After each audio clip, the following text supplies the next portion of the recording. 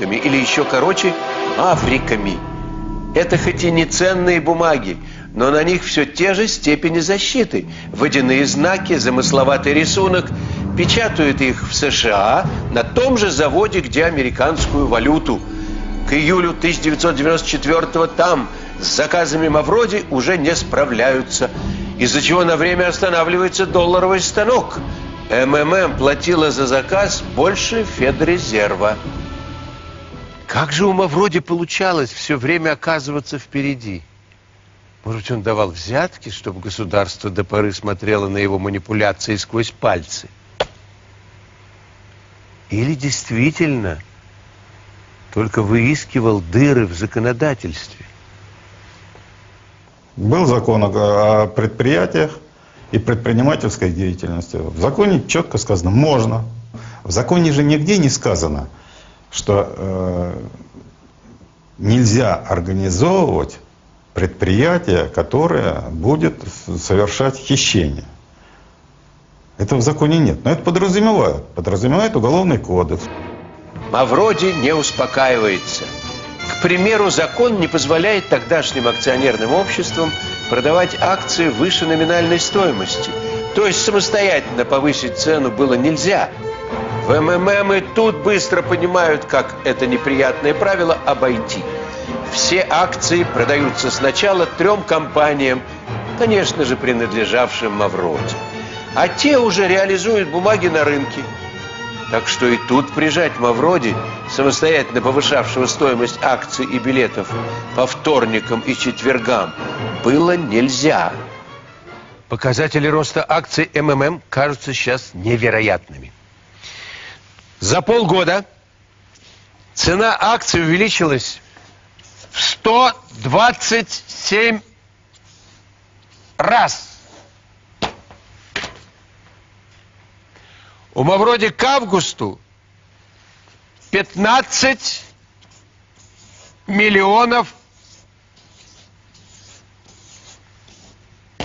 вкладчиков. Он контролирует треть бюджета страны, зарабатывая по 50 миллионов долларов в день. Это только в одной Москве. А деньги, так их просто считать не успевают. Их измеряют комнатами. Глава МММ из гиперуспешного предпринимателя становится одним из самых влиятельных людей страны. А власти все это видят. Ну, были постоянно заседания правительства расширенные по поводу МММ, что там с ним делать, что там сделал, он орал на силовиков, сделай с ним хоть что-нибудь вообще. Отец вполне естественно, тогда уже все ученые были, говорили, что значит что-нибудь, дайте приказ, сделаем. А как государство пыталось остановить МММ? И как Мавроди угрожал президенту? Куда могли бесследно исчезнуть миллиарды долларов? Мы нашли следы этих денег. Новые подробности через несколько минут.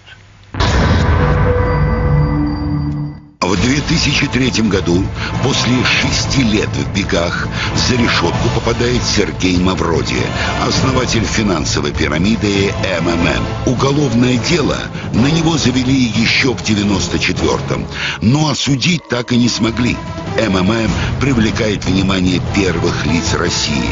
Неужели и им не под силу справиться с предпринимателем? Вениамин Смехов продолжает расследование. Центральный офис МММ. Варшавское шоссе, дом 26.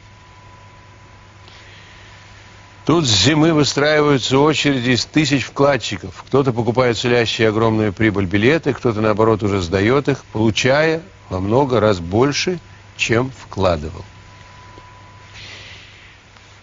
Так было и апрельским утром 94 -го года, когда сюда подкатили автобусы с СОБРом – так начинается якобы плановая налоговая проверка. Уведомления о ее начале вручают управляющему. Наблюдающие это вкладчики, разумеется, бросаются продавать свои акции. Мавроди в ярости, но и не думает отступать. Но это была последняя уже капля моего терпения. Переполнилось на всем. Я сказал, ладно, хорошо, раз так, я завтра же собираю референдум. Всех нафиг вообще, всю эту комарилю вообще, весь этот балаган. Все власти, всех президентов, премьеров. Я поставлю вопрос о доверии правительства и прочем. А миллион подписей я при 15 миллионов вкладчиков собирал за неделю. Да какую неделю вообще? Я бы сказал, что кто не расписывается, у того билет не покупает. Весь вопрос вообще. И кто не голосует, потом тем тоже не будем покупать. Вам власти наши так нравятся, вот пусть они за вас и выкупают вообще. Все это прекрасно понимали. Что все, и к тому же власти все ненавидели, и кому они нафиг нужны были. А тут за твоих деньгах речь идет вообще. Нифига себе вообще. После таких угроз маски-шоу на Варшавке спешно называют недоразумением. Ну а что до паники среди вкладчиков? Мавроди справляется с ней в два счета. Он ускоряет темп роста акций. Но перемирие было временным. Государство просто собиралось силами, чтобы противостоять взорвавшемуся предпринимателю.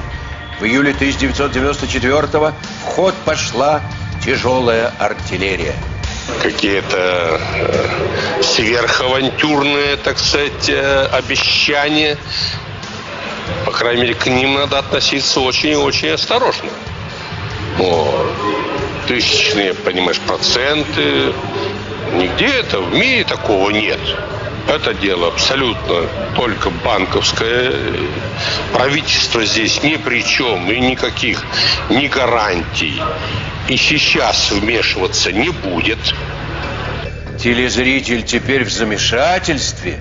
В прайм-тайм ему сначала рассказывает о блестящих перспективах МММ любимый Леня Голубков, а спустя пять минут новости в ответ предупреждают. Связываться с МММ опасно. Чиновники открыто говорят, это афера. Заявление провоцирует панику, ее уже не остановить. В это время МММ создает более 300 торговых фирм. Вкладчики, которые ищут свои деньги сейчас, называют их фирмами-бабочками. И все из-за названий. Махаон, Адмирал, Парусник. Эти насекомые всегда нравились Сергею Мавроди. Есть сведения, что на счета бабочек летом 94-го Мавроди переводил огромные суммы – и фирмы эти существуют до сих пор под другими названиями. Все эти названия не секретны. Более того, известны они и вкладчикам. Те доказательства, которые мы представили, неопровержимы. Их никто не смог опровергнуть. Ни на первой, ни на второй инстанции. Вот так вот, знаете, вот нет и все. Вот у правительства Москвы нет желания вам вернуть деньги. Все, кто участвовал в этом акционерном обществе, их деньги – ушли на формирование э, значит, уставного капитала Национального пенсионного банка. То есть Мавроди манипулировал, знаете, он уводил деньги из-под будущего предстоящего ареста, из-под закона, то есть уводил деньги и скрывал их у третьих лиц. После тревожных заявлений властей паника среди вкладчиков только растет, и 27 июля Мавроди объявляет о снижении стоимости акций в 127 раз. До одной тысячи рублей. С этой цены все и начиналось. Однако основатель МММ призывает своих инвесторов не нервничать. Теперь цена на акции будет расти еще быстрее и будет увеличиваться каждый месяц аж в 4 раза.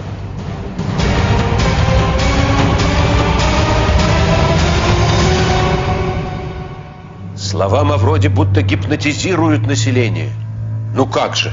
Сергей Пантелеич не может обманывать. Ведь проценты по вкладам выплачивают уже полгода. И к кассам МММ снова стекается народ. Акции и билеты вновь раскупают бешеными темпами.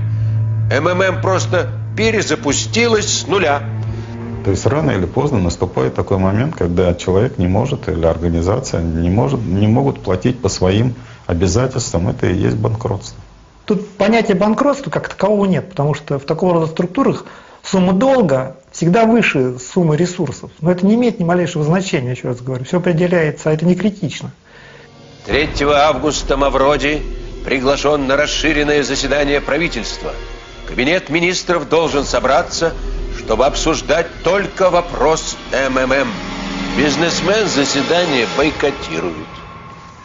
Терпение властей лопается. На следующий день, 4 августа, квартиру Мавроди на Комсомольском проспекте берут штурмом.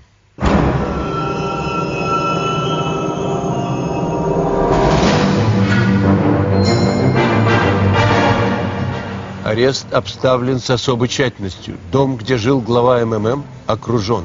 Спецназовцы спускаются к нему в квартиру по веревкам. Ну и через год они пришли сюда, что вот, позвонили в дверь. Я им, естественно, не открывал. Еще пусть им будет посложнее, зачем. Но они звонили, звонили. Потом спустились с верхнего балкона по тросам. Там я им открыл балкон, естественно, потому что ну, зачем стекла повыбивают. В это же время другая ударная группа, налоговые инспекторы при поддержке ОМОНа, штурмуют офис на Варшавке 26. Объявлено о выявлении грубых нарушений налогового законодательства. В бюджет предписано взыскать 49 миллиардов рублей. То, что произошло в офисе МММ дальше, овеяно ореолом тайны. От здания, окруженного вкладчиками милиции, пытаются отъехать несколько грузовых машин. По толпе проносится шепот. Деньги везут. Толпа потребовала от налоговиков прекратить самоуправство, и теперь уже сами вкладчики ворвались в здание. Но ни финансовой документации, ни, понятное дело, денег там уже не нашли. Все было изъято. Свидетели под присягой подтверждают, в тот день от офиса МММ отъехало 17 КАМАЗов, груженных черными пакетами. В них, уверяют вкладчики, и были наличные. Когда эти свидетели выступали на суде, обвиняя налоговиков, прокурор Амалия Устаева дала им ответ, который вызывает еще больше вопросов. А откуда вы знаете, что это были сотрудники спецслужб? Ну и что, что они были в форме? Вы документы у них проверяли? Иными словами, прокурор утверждает, что параллельно со спецслужбами в здании могли находиться какие-то другие люди, которые беспрепятственно загрузили нечто в 17 машин и спокойно на глазах у ОМОНа куда-то уехали. На логичный вопрос, куда конкретно двинулись грузовики, никто ответить так и не смог. Парадоксальность ситуации также и в том, что суд аргументы прокурора принял и к вопросу о вывезенных в тот день средствах, если это, конечно, были деньги, больше не возвращался. Да, мы тоже слышали про эти команды с вывезенными деньгами, но это только слова. Подтверждения своего вот следственным путем при расследовании уголовного дела они не получили. Лично я в существовании данных КАМАЗов сомневаюсь. Если бы они были, они бы всплыли. Это очень крупные деньги, если вот действительно существует так. И такие крупные деньги, они же рублевые, да? Чтобы их вывести за рубеж, их надо было конвертировать. Ну, какой-то банк бы засветился на этом. Этого нет. Еще один логичный вопрос о событиях 4 августа задает сам Сергей Мавроди.